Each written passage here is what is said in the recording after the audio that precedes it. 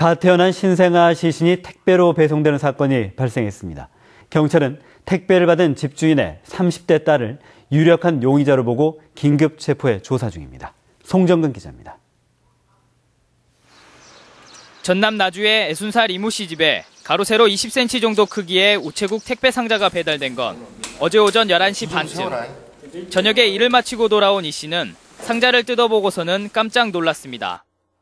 나 진짜 그거 보고 진짜 기절 안 한 게 다행이네. 그거 풀어봤으면 진짜 나 기절했을 거예요. 영아의 시신은 탯줄이 잘리지 않은 상태였고 부패도 어느 정도 진행된 상태로 알려졌습니다. 시신 곁에는 아이가 편한 곳에서 쉴 수 있게 잘 처리해달라는 내용의 편지도 들어 있었습니다.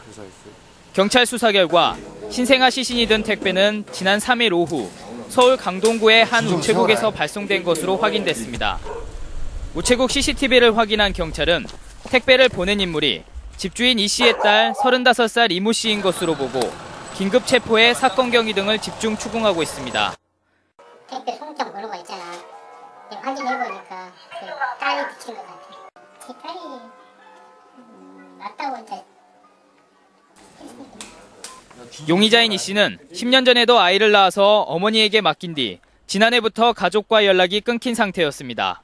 경찰은 이 씨가 생활고로 영아를 사산했는지 살해했는지를 밝히기 위해 국과수에 부검을 의뢰했습니다.